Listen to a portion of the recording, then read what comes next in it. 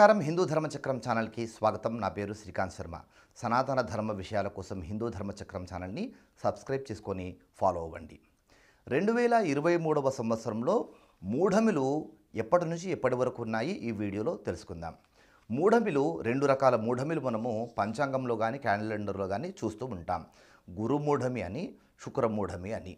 అసలు మూఢమి అంటే ఏంటి? అంటే ప్రధానమైనటువంటి నవగ్రహాలలో రెండు గ్రహాలు బృహస్పతి గ్రహము శుక్రగ్రహము ఇవి ముహూర్తాలకు చాలా ప్రధానమైనటువంటివి. ఇవి అస్తమయం చెందినప్పుడు అంటే సూర్యకాంతి వలన ఇవి భూమికి కనపడకుండా ఉన్నటువంటి సమయాన్ని మౌఢ్యమి అని అంటారు. అంటే ఇవి కనబడకుండా పోతాయన్నమాట. ఇలా కనబడనప్పుడు వీటి బలం అనేటువంటిది భూమి మీద ఉండకుండా పోతుంది. అయితే ముహూర్తాలకు ఈ గ్రహాల యొక్క బలం చాలా అవసరం కనుక. ఇప్పుడు ఈ బృహస్పతి గ్రహము శుక్ర గ్రహము బలంగా ఉన్నప్పుడు మాత్రమే మనం ముహూర్తాలు అనేటువంటివి పెట్టుకుంటాము. పంచాంగంలో అలా ముహూర్తాలు ఆ విధంగా నిర్ణయం చేస్తారు. అలా గురుమూఢమి శుక్రమూఢమిలు అనేటువంటి ఆ విధంగా ఏర్పడతాయి. గురుమూఢమి శుక్రమూఢమి లేనటువంటి సమయాల్లోనే మనము చక్కగా వివాహాది శుభకార్యాలకు సంబంధించినటువంటి ముహూర్తాలు చూసుకుంటాం.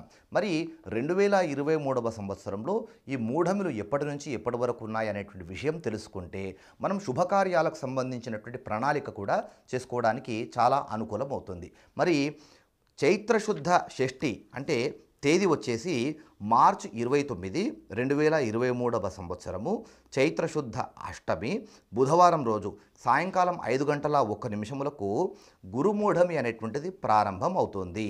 గురుమూఢమి ఉన్నటువంటి సమయంలో శుభకార్యాలు అనేటువంటివి చేయకూడదు మరి ఈ గురుమూఢమి ఎప్పటి వరకు ఉంటుంది అంటే ఏప్రిల్ ఇరవై ఐదవ తేదీ రెండు వేల ఇరవై మూడవ సంవత్సరము వైశాఖ శుద్ధ షష్ఠి మంగళవారం రోజు సాయంత్రం ఐదు గంటల తొమ్మిది నిమిషములకు ఈ గురుమూఢమి అనేటువంటిది వెళ్ళిపోతుంది. అంటే సుమారు ఇరవై ఐదు రోజుల పాటు ఈ మూఢమి గురుమూఢమి అనేటువంటిది ఉంటుంది కనుక అంటే ఏ దాదాపు ఏప్రిల్ మొత్తం అనుకో భావించుకోవచ్చు మనము. మార్చు చైత్రశుద్ధ అష్టమి నుంచి ఈ గురుమూఢం ప్రారంభమవుతుంది కదా. చైత్రమాసంలో మనకు వివాహాది శుభకార్యాలు ఎన్నో ఉంటాయి. అలాంటిది మనకు ఈ గురుమూఢమి వచ్చింది కనుక చైత్రమాసం శుద్ధ అష్టమి నుంచి చైత్రమాసం మొత్తము ఎప్పుడు వైశాఖ శుద్ధ షష్ఠి వరకు సుమారు నెల రోజులుగా భావించుకోవచ్చు మనం. చైత్రశుద్ధ అష్టమి నుంచి వైశాఖ శుద్ధ షష్ఠి అంటే రెండు రోజులు తక్కువ మొత్తం ముప్పై రోజులుగా భావించుకోవచ్చు. ఇలా ఈ గురుమూఢమైనటువంటిది ఉంటుంది కనుక వైశాఖ మాసంలో కూడా శుభకార్యాలు చాలా చేసుకుంటాం కదా.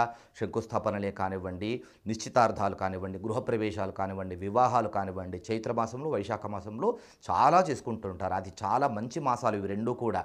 అనుకూలమైనటువంటి వాతావరణం కూడా ఉంటుంది. కనుక ఈ సమయాల్లో ఎక్కువగా ముహూర్తాలకు ప్రాధాన్యత ఇస్తారు. కానీ గురుమూఢమి ఈ మార్చి ఇరవై తొమ్మిది నుంచి ఏప్రిల్ ఇరవై ఐదు వరకు గురుమూఢమి ఉన్నటువంటి కారణం చేత ఈ మాసంలో ఈ రోజుల్లో శుభకార్యాలు అనేటువంటివి చేయకుండా ఉండాలి. ఇది గుర్తుపెట్టుకోండి.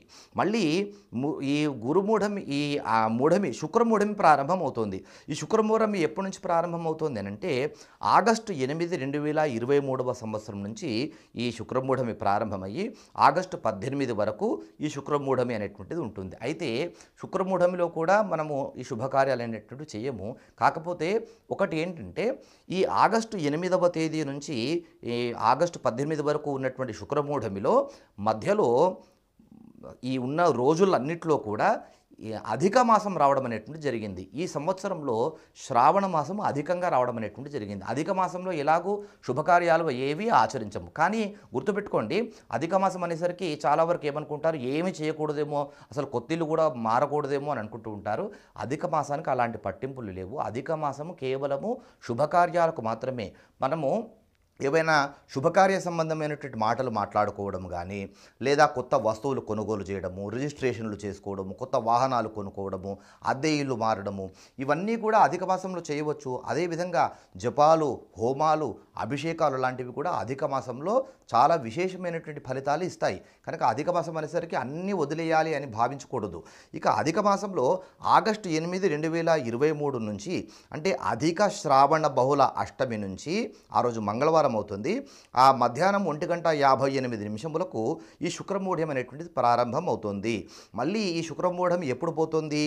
నిజ శ్రావణ మాసంలో శుద్ధ తదియ రోజు ఈ శుక్రమూఢమి శుక్రవారం రోజున రాత్రి ఏడు గంటల ఇరవై ఒక్క నిమిషములకు శుక్రమూఢం అనేటువంటిది వెళ్ళిపోతుంది. అంటే మొత్తంగా మనము ఈ అధిక మాసము రావడమే మనకు కాస్త అనుకూలం అయ్యిందని చెప్పుకోవచ్చు. శుక్రమూఢమిలో అధిక మాసమే ఎక్కువ భాగము వెళ్ళిపోతుంది కనుక అధిక మాసంలో కేవలము ని నిజ శ్రావణ శుద్ధ ప్రతిపది విధియ. ఈ రెండు రోజులు మాత్రమే అధిక మాసం ఉంటుంది.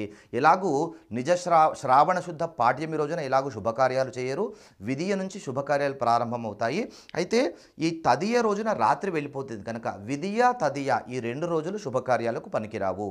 ఇది శుక్రమూఢమి గురుమూఢమికి సంబంధించినటువంటి విశేషాలు. ఈ మూఢమిలో మనము శుభకార్యాలు చేయం కనుక ఇప్పుడు మనకు ఏ ఏ రోజుల్లో రెండు వేల ఇరవై మూడవ సంవత్సరంలో ఈ మూఢమిలు ఉన్నాయనేటువంటి విషయం తెలిసింది కనుక మన ఇంట్లో శుభకార్యాలు ఎప్పుడు చేయవచ్చు అనేటువంటి ప్రణాళిక చేసుకోవడానికి మనకు ఈ వీడియో చాలా ఉపయోగపడుతుంది. ఈ వీడియో మీరు చూడడమే కాకుండా మీ బంధుమిత్రులతో కూడా తప్పకుండా షేర్ చేయండి.